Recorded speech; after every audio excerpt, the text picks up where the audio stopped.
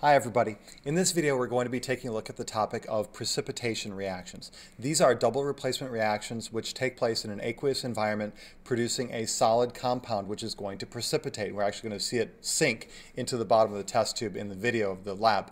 Um, we're going to discuss these reactions in terms of what's happening actually at the particle level which causes the precipitate to form. We're also going to look at the topic of how do we write a net ionic equation.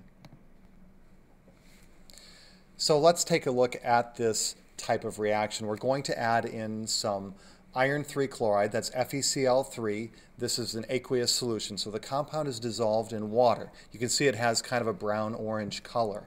Next, we're going to be adding our other reactant. We're going to add one molar sodium hydroxide. So just add that drop by drop, and you can see forming right up here a precipitate uh, this dark brown color, this is iron 3 hydroxide forming. You can actually start to see some of it sinking down into the tube. We can see chunks of it falling here. That's where the term precipitate actually comes from. Now, what we want to do in the video next is to take a look at what's occurring at the particle level which causes a precipitate to form. So initially in the test tube, we had aqueous iron 3 chloride, FeCl3. Those ions are actually not together. They're, they're pulled apart by the dissolving properties of water. The dropper bottle that had sodium hydroxide was also an aqueous solution. Now, here, this is the test tube when we mix the two different reactants together.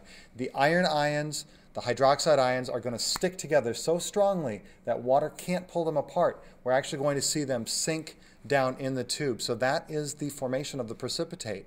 And let's pause here for a quick second on the video.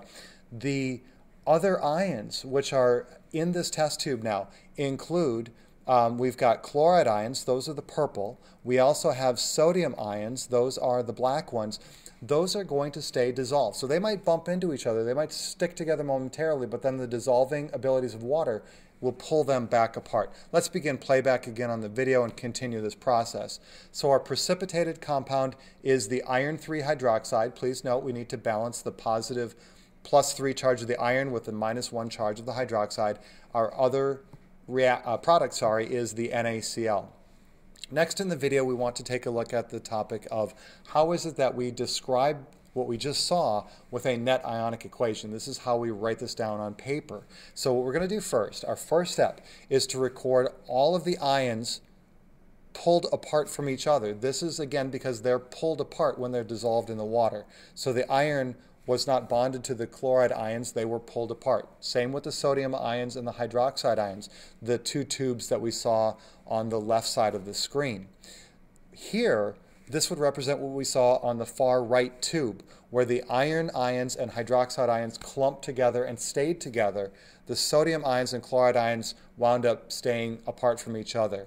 We identified these as spectator ions. It means that they're just there observing or watching the precipitate form. They're not actually involved in the actual formation of precipitate because the precipitate included just iron and the hydroxide ions.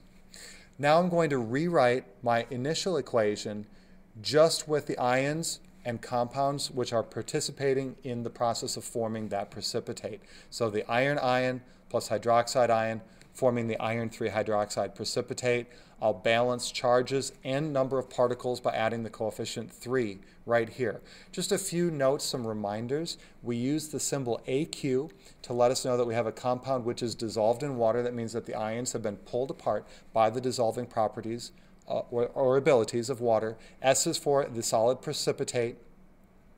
We also want to remember um, important information about the compounds that we put a line through or the ions that we put a line through.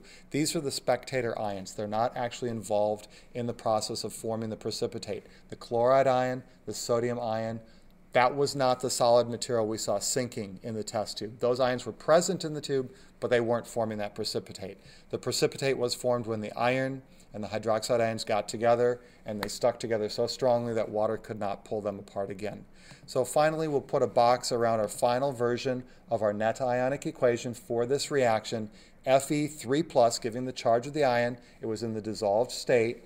OH minus, hydroxide ion in the dissolved state, produced FeOH3. We write S after this in parentheses, indicating that these two ions clump together, forming that solid precipitate. And the final thing we need to do is to add the coefficient.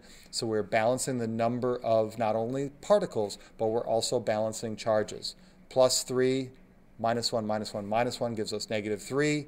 We have one iron, one iron. We have three O's, three oxygens, three oxygens, three hydrogens, and three hydrogens here. So that's been a brief look at the topic of what happens in a double replacement reaction which produces a precipitate and how you can write a net ionic equation. Thanks for watching everyone.